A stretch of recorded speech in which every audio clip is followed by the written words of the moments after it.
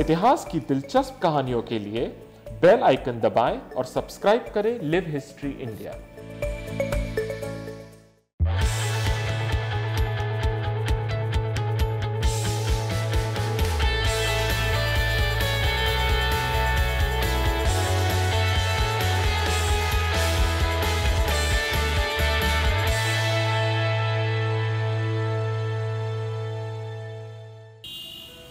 मुंबई के आधुनिक शहर के भीतर छिपी है एक ऐसी प्रथा जहाँ दिवाली के दौरान बच्चे मिट्टी के किले बनाते हैं।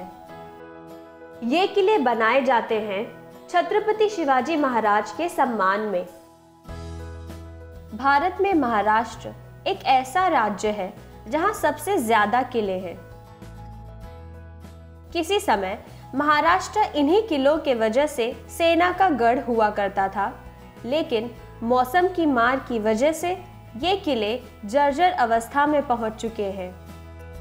हालाँकि सत्ता और शक्ति के प्रतीक के रूप में ये आज भी मौजूद है। जहाँ महाराष्ट्र का लोहगढ़ किला, जो ट्रैकर्स की पसंदीदा जगह है, वहीं महाबलेश्वर में छत्रपति शिवाजी महाराज का प्रसिद्ध किला प्रतापगढ़ एक अलग ही पहचान रखता है। मुरुड में स्थित जंजीरा का अभेद्य किला हर तरफ़ मंथन सागर से घिरा हुआ है और सिंधु दुर्ग किला महाराष्ट्र के तटीय वैभव को बढ़ाता है। इन किलों ने न सिर्फ़ पहाड़ियों और समुद्रों को अलंकृत किया, बल्कि शहरों का भी निर्माण किया है। जैसे पुर्तगाली बासेन के भीतर एक यूरोपीय शहर था, या मुंबई के साइन इलाके में स्थित अंग्रेज़ों का पुराना किला, जिस पर उस इलाके का नाम पड़ा। महाराष्ट्र के कई किले उसकी शक्ति, वैभव और बौद्धिक विरासत की गाथा सुनाते हैं। ये किले महाराष्ट्र के इतिहास के आईने हैं, जिन्हें संजोने की ज़रूरत है। इन किलों के प्रति प्रेम और सम्मान दर्शाने के लिए हर साल दिवाली के मौके पर महाराष्ट्र में छोटे बच्चे मिट्टी के किले बनाते हैं। माना जाता है कि छत्रपति शिवाजी महाराज बचपन में अपने दोस्तों के साथ मिट्टी के किले और युद्ध के दृश्य बनाते थे। ऐसा कहा जाता है कि छत्रपति शिवाजी महाराज के समय जब वो छोटे थे तो वो अपने सारे मित्रों के साथ मिलकर आ, मिट्टी से किले बनाते थे। और आ, इस चीज़ को याद रखने के लिए दिवाली में महाराष्ट्र में किले बनाने की एक बहुत ही इंटरेस्टिंग ऐसी एक ऐसी परंपरा शुरू हुई। महाराष्ट्र में देखेंगे हम तो करीबन 350 के ऊपर किले हमें पाए जाते हैं और वो अलग अलग किस्म के किले हैं। जैसे पानी के बीचों बीच कुछ किले हैं तो कुछ किले एकदम से पहाड़ के ऊपर हमें देखने मिलते हैं। इन किलों की रक्षा करने के लिए जो शिवाजी महाराज के सिपाही होते थे, वो, उन्होंने अपनी जान की बाजी तक लगा दी है।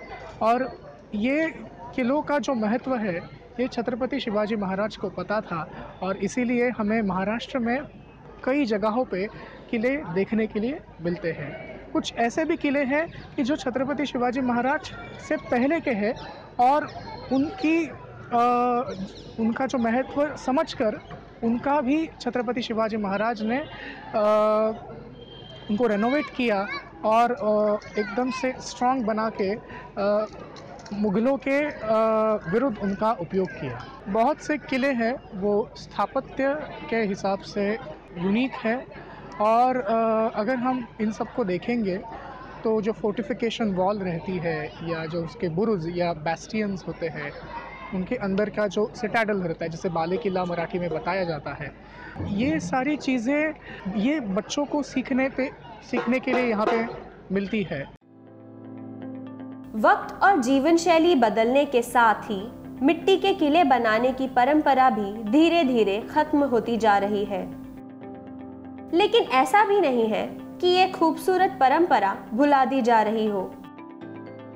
वक्त के साथ साथ हमारे जीवन में परंपरा भी बदले रूप में सांस ले रही है। किले कर्ज उन लोगों में से हैं जो मिट्टी के किले बनाने की परंपरा को ज़िंदा रखने की कोशिश कर रहे हैं।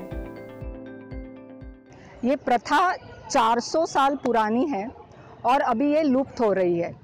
लुप्त होने का कारण भी हम लोग हैं, क्योंकि इतनी सारी बिल्डिंगें बन रही है कि बच्चों को खुले मैदान ही नहीं मिल रहे हैं। बच्चों के हाथ में कभी मिट्टी ही नहीं लग रही है। और ये एक ऐसा ट्रेडिशन है, एक ऐसी प्रथा है कि दिवाली के टाइम पे सारे बच्चे इकट्ठा होते हैं और ये मिट्टी के किले बनाते हैं।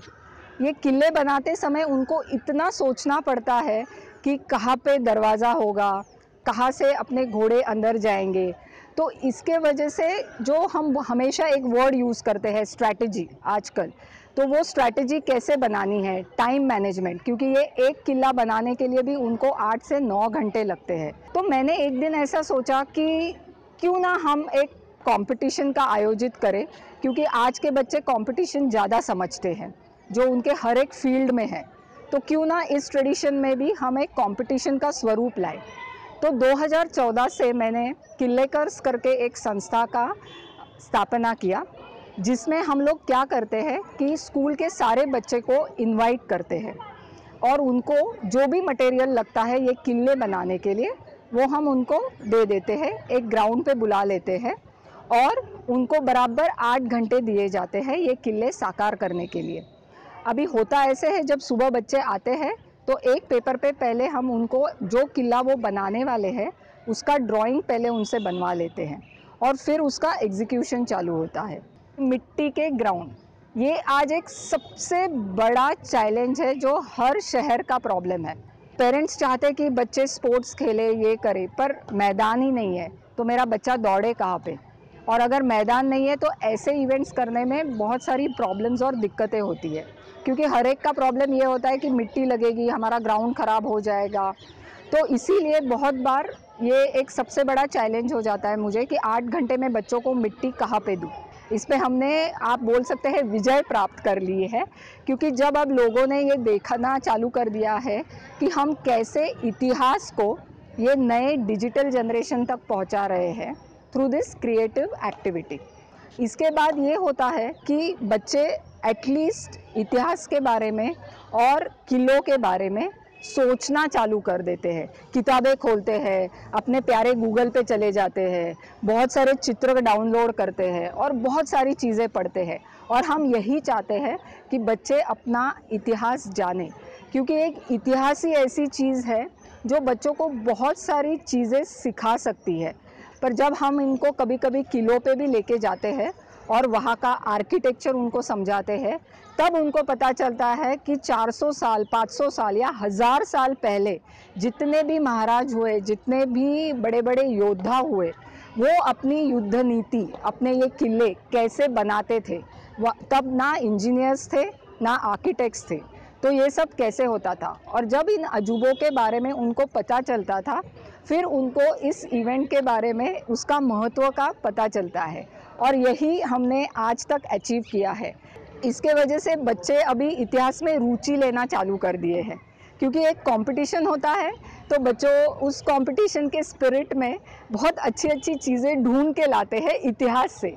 और उसको यहाँ पे आप देख भी सकते हैं, उनके जो मॉडल्स बनाते हैं तो छोटा छोटा जो डिटेलिंग होता है, जैसे किले का जो महाद्वार होता है, किले का जो बुरुज होता है, जिसको हम इंग्लिश में वॉच टावर कहते हैं, ऐसे सब चीज़ें का ज्ञान लेके वो यहाँ पे ग्राउंड पे इकट्ठा होते हैं और ये छोटे छोटे मॉडल्स बनाते हैं। भारत का एक ट्रेडिशन है एक कल्चर है जिसको हमें आगे लेके जाना है जिसके ज़रिए से this is a I feel ये एक क्रिएटिव वे है कि बच्चों को हम सिर्फ़ लेक्चर्स या टेक्स्ट बुक्स पढ़ने के लिए ना दें हिस्ट्री की बिकॉज़ इसीलिए उन्हें हिस्ट्री कभी कभी बोरिंग लगता है।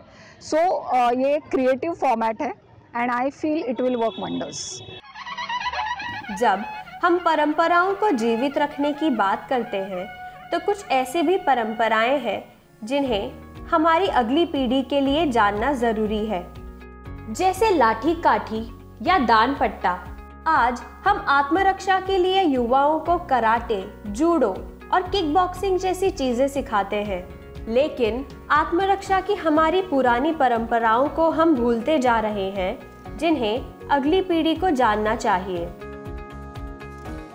जो शिवाजी महाराज के ज़माने में सिखाई जाती थी, और अभी ये कला बहुत कम कम बच्चों लोग सीख रहे हैं।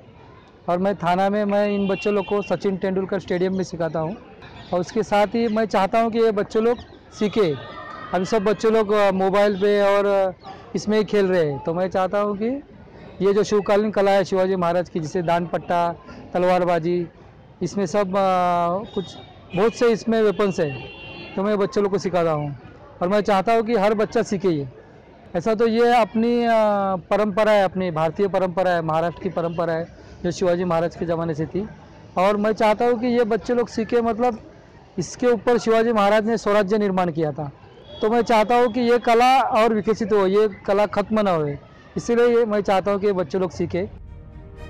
आज, जहाँ मयूरा जैसे लोग लुप्त होती परंपराओं को पुनर्जीवित करने के प्रयास में लगे हुए हैं, वहीं ये हमारा भी फ़र्ज़ बनता है कि हम युवाओं को इस कला और अपनी संस्कृति के बारे में जागरूक बनाएँ, जिसकी बुनियाद पर हमारा अस्तित्व बना है।